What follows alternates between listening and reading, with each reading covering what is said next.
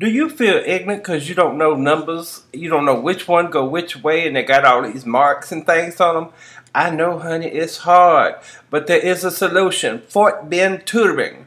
And now here go Mr. Whitt. Explain math to us, Mr. Whitt. Hello, ladies and gentlemen. This is Mr. Whitt with Fort Bend Tutoring, FBT, and today we're going to be discussing solving multi-step linear equations. All right. Here we are. So these are going to be equations, ladies and gentlemen, that will involve more than two steps in order to solve. Let's check them out. So in problem number one, I have 2 times the quantity of x minus 3 equals to 90. Ladies and gentlemen, you're about to witness something special. This is my favorite property in the world, and I don't know why. It's the distributive property. Matter of fact, I know a part of the reason why, and it's because I get a chance to get my arrows popping, ladies and gentlemen. That's right, arrows popping. Popping. Just saying. It makes me feel warm and tingly all on the inside. I don't know why, but that's what's going on. Distributive property, let's get it started. So anytime you have a number or a term on the outside of a set of parentheses, ladies and gentlemen, you're going to multiply that term inside of the parentheses with every single element within it. So let's take a look. We have 2 times x is going to give me 2x. 2 times negative 3 is going to be negative 6, and I'll bring down my 90, ladies and gentlemen, equals to 90. Mm-hmm. So the first step, we are distributing the 2. I have 2 times x gives me 2x, 2 times negative 3 is negative 6, and I bring down my equal sign and my 90.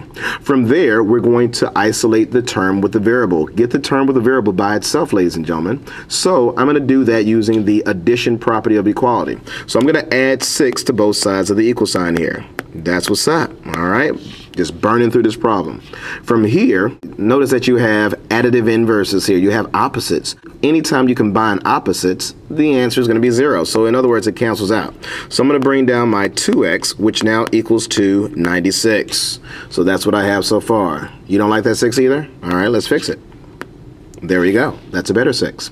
Then from there, ladies and gentlemen, I'll be using the division property of equality. So anytime I have a number, a coefficient in front of a variable, you're going to divide by that exact same number in order to get rid of it. So I'm dividing both sides by 2. All right. So that means, ladies and gentlemen, that x will equal to 96 divided by 2, which is 48. And that's my answer. And as always, I'm going to put a box around my answer because that's how I roll. That's how I do things. So that's the problem, ladies and gentlemen. That was problem number one. Mm-hmm. Okay, let's move on. Let us move on to the next problem here. In problem number two, notice that we have 10x plus 3 plus 12x equals to negative 41.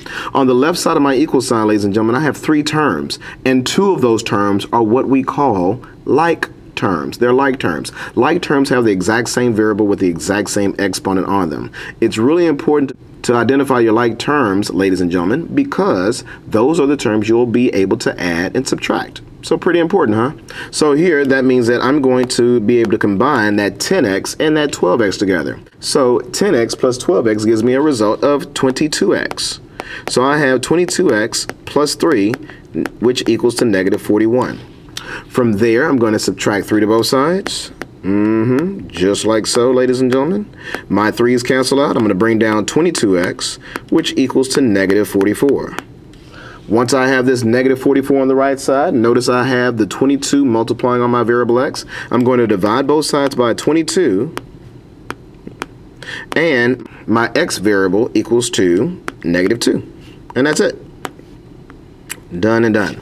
Let's do a recap over this one, ladies and gentlemen. We started out with the original equation, 10x plus 3 plus 12x equals to negative 41. I noticed that I had like terms. My 10x and 12x have the exact same variable with the exact same exponent on those variables, and I can combine those, meaning I can add and subtract. So 10x plus 12x gives me 22x plus 3 equals to negative 41. Remember to write down each one of your steps from left to right, ladies and gentlemen. Then I want to isolate the term that has my variable in it, so I'm subtracting 3 to both sides. I cancel out those additive inverses, those opposites, bringing down my 22x equals to negative 44 because like signs add, and I keep the sign of the biggest number. And then I divide both sides by 22 to give me a result of x equals to negative 2, ladies and gentlemen. That's what we have thus far. All right. Then let's move on to the next problem. Let's check it out. With our next problem, we have example 3 here. We have 4x plus 23 equals to 6x minus 11. I'm going to start, ladies and gentlemen, by subtracting 4x to both sides. So I'm going to subtract 4x on the left side. I'm subtracting that 4x on the right side. And notice how this time I'm going to end up with my variable on the right-hand side of the equation. The reason for that, ladies and gentlemen, is I prefer a positive coefficient. I like the number in front of my variable to be positive. So that's what I'm going to do in this problem here is cancel out those variables on the left side and then I'm going to resolve them on the right side there. They're going to end up resting there. So I'm bringing down my 23, which equals to 2x minus 11. And then I'm going to add 11 to both sides of the equal sign. So here I'm adding 11 to both sides and my 11s cancel out on the right side. I bring down the 34 which now equals to 2x. And next we'll use the division principle and divide 2 to both sides of the equal sign. So when I divide 2 to both sides of the equal sign, ladies and gentlemen, remember a fraction is a division problem. So 34 over 2 is the same thing as 34 divided by 2. That result is 17. So I now have 17 equals to x, and that is my answer. That's it. Just like that, ladies and gentlemen. Done and done. So we started out by moving all of our variables on one side of the equal sign. I chose the right side because I prefer a positive coefficient. So I subtracted 4x to both sides, bringing down my 23 equals to now 2x equals to 11.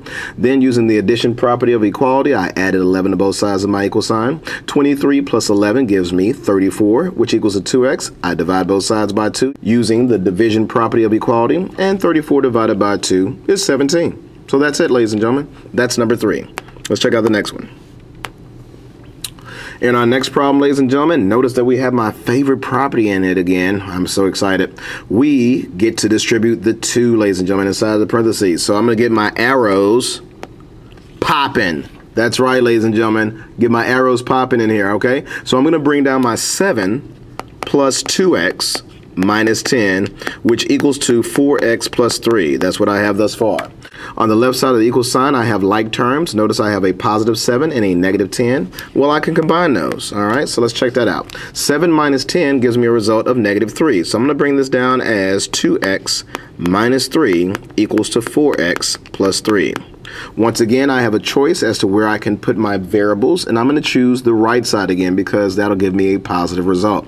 So I'll be subtracting 2x to both sides. Remember, our goal throughout each of these equations, ladies and gentlemen, is to isolate the variable, get the variable by itself. So we'll do that by any means necessary. All right, I just used the subtraction property of equality to isolate my variable on one side of the equal sign. Notice that my 2x is canceled out. I'll be bringing down this negative 3, which now equals to 4x minus 2x, which is 2x, plus 3. Uh-huh. And then, still trying to get that term with the variable by itself, I'll be subtracting 3 to both sides. All right, so check it out. Check it out. Finally, ladies and gentlemen, a negative 3 and a negative 3 will combine to give me a negative 6. And this equals to 2x. What happens to these 3's? That's right, they cancel out. All right, they're gone bye-bye. Next, ladies and gentlemen, I'm going to divide both sides by what number? Tell me. Say it. Very good. Positive 2. We're going to divide both sides by 2. And finally, ladies and gentlemen, your variable x equals 2. A negative 6 divided by 2, which is negative 3 done and done. Let's put a box around that. All right. So there we have that problem, ladies and gentlemen. That's it. Let's change the color and turn the page. Okay. Next, number five.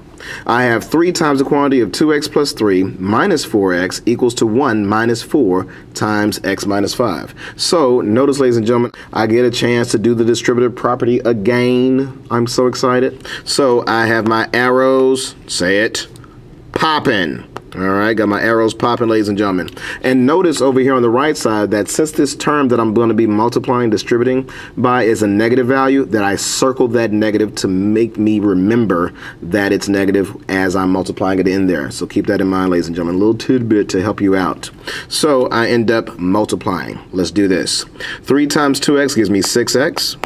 3 times 3 is 9 minus 4x, which equals to 1.